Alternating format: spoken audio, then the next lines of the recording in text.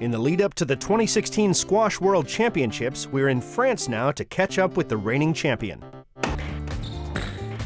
Squash is a really complete sport, very demanding uh, physically. You need endurance, you need speed, then there's a lot of tactic. It's a really fast sport, so this is what I really like about it. You need to practice a lot uh, to be able to uh, adjust your feet correctly, have the right swing, the right timing. The ball is going really fast. The, the fastest hitter uh, hits at 270 kilometers an hour. So you need to uh, take the information really quick.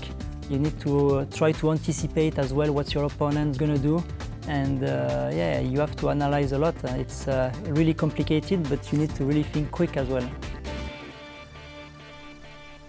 Squash is a dynamic sport requiring a high degree of alertness, especially given the playing surface is on all four walls on the court.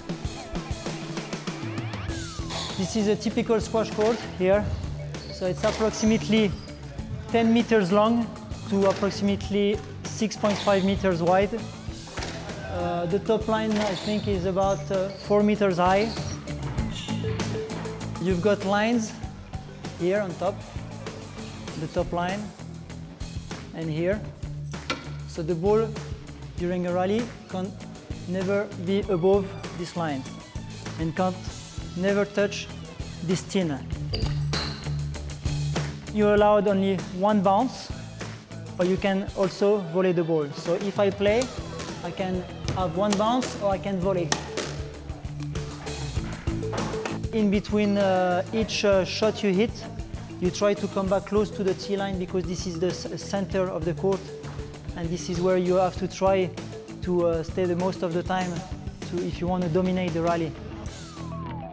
The main aspect of a squash player is explosiveness and to be endurant in explosiveness because matches can last uh, up to two hours.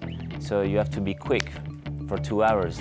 And then the rest is mainly cognition where uh, you need to treat as many uh, informations as possible in a very short amount of time. I think if you want to perform and be the best, every detail really counts. So it can be on the squash court, off court. I do a lot of weights to reinforce the muscles, not to get like big muscles, but like to get enough strength because we do a lot of lunges.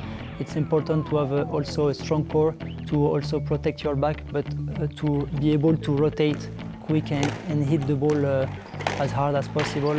I'm doing a lot of drills on the court as well to uh, be able to play as close as possible to the side walls to not give any angles to your opponents. The difference with, say, table tennis or tennis is that it's two players battling for the same territory and we play with the four walls.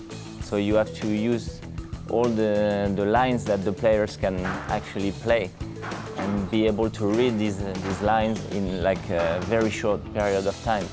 When we play, it comes to like that, uh, that much, you know. So we do a lot of repetition uh, drills uh, during the training to be able to get uh, the right control, the right feel uh, before going to the tournaments. Last year, Gaultier reached the pinnacle of his career when he was crowned squash world champion for the first time.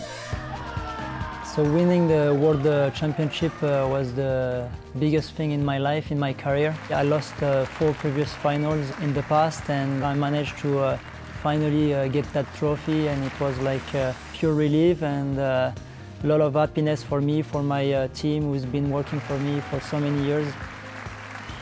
He's been chasing this title for, I would say, for about 20 years. And uh, what made him a world champion is probably his obsession and his dedication. He's got what it takes, to be honest, to become a world champion, and uh, I think he's got, he's got the capacities to do it again.